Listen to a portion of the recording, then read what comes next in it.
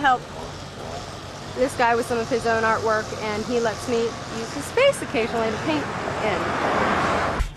What are you doing, Kenya?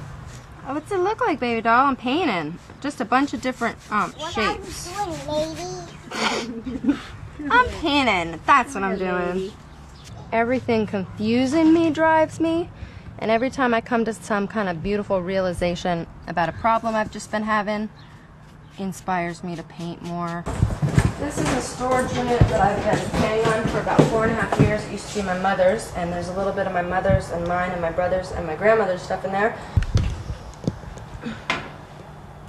If I bust my ass, man. okay, hold on. I gotta get a better angle.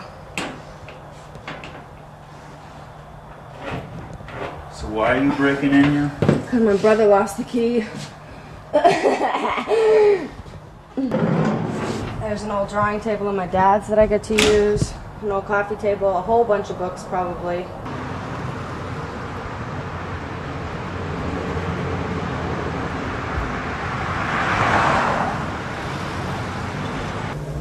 But yeah, I found some really awesome stuff. I found my old Light and Bright set. Mm-hmm. I'm setting that up in my apartment, putting a cool picture on it, something. This is a picture that I started about a year ago, approximately. And I haven't really had much time or space to be working on it, or motivation for that matter. But this was taken from a photograph that my father took of me when I was about three or four. And um, it's one of my favorites. The look in the girl's face, the accusatory look, I, um, I kind of just really like that. It won't be done for another six months, I promise.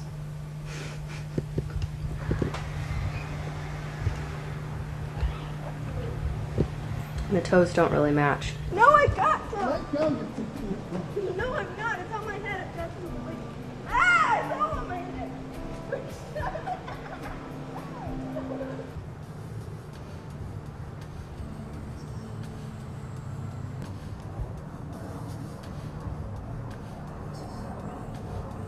This is a letter my mom wrote to everybody after my grandma passed away. Department of Human Resources, Division of Health. What else? What is this? Is this a death certificate?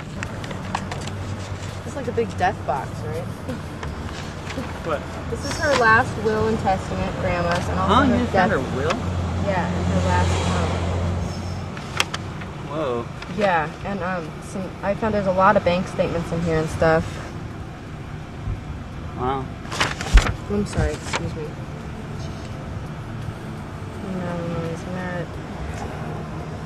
We didn't know we had that. Um, I don't think so. We're gonna have to really go through this together because we didn't know we had any of this stuff. And her death certificate is in here too. And mom's medical record. Did you know mom had emphysema? I didn't know that. She had emphysema. It's right here. It says, "What is your disabling condition?" She was applying for emergency medical when she was um, No, I know. Emphysema, When possible wouldn't her and possible stroke, and no medical means, and no medical something. Anyway, I know. yeah, I don't want to go That's why we were going to do that anymore. death suit against USC Medical Center. Yeah, but they wouldn't send me the damn file.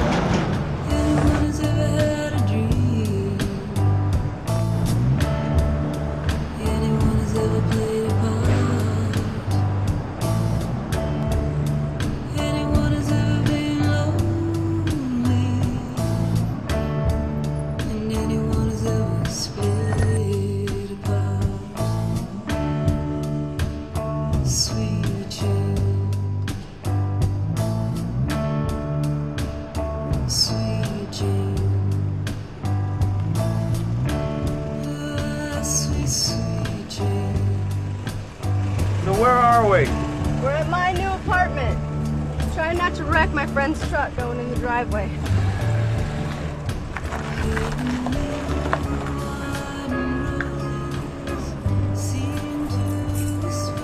It's just kind of my view on society and my beliefs and how chaotic sometimes it gets in my head.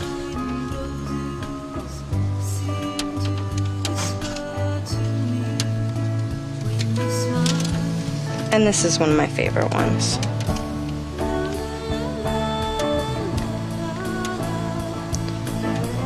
And the title is my own. America because it's so red, white, and blue. I just remember it in black and white and kind of choppy, but my mom got a phone call and she ran to the phone. She came back in tears and she described to my brother that my father had been murdered. My mom had a way of taking on a lot. She was a one-handed army,